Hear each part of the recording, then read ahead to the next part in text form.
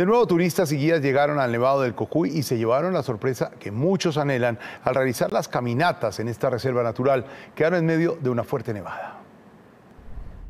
No se trata de un paisaje europeo. Este es el nevado del Cocuy Huicanichita tras una fuerte nevada, fenómeno natural no común en este ecosistema. Caía la nieve sobre la ropa en un lugar donde don Enrique, nuestro guía, nos decía que no había nieve. Más de la mitad del, del camino pudimos caminar sobre nieve. En 2021 se han registrado más de 15 nevadas en lugares no comunes de esta reserva natural, que pareciera buscar un nuevo aire para continuar su lucha por sobrevivir. Un regalo de Dios y de la naturaleza.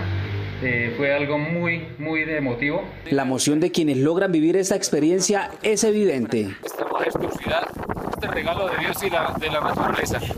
Entonces el día de hoy encontramos tres kilómetros abajo de nuestro glaciar nieves perpetuas. Vengan y disfruten. ¡Ey! Son muy lindos, muy lindo, hay que venir.